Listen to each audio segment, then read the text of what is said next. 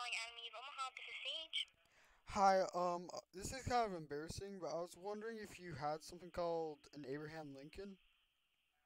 Uh, no, we do not. It's, I think it's called an Abraham Lincoln. It's something like, it's supposed to be hard as wood.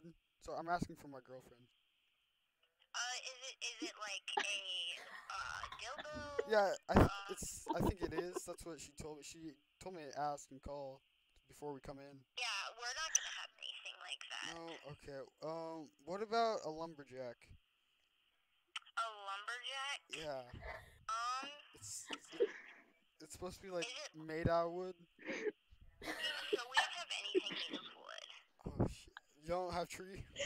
Nope. A tree is just supposed to be a tree. No, we do not.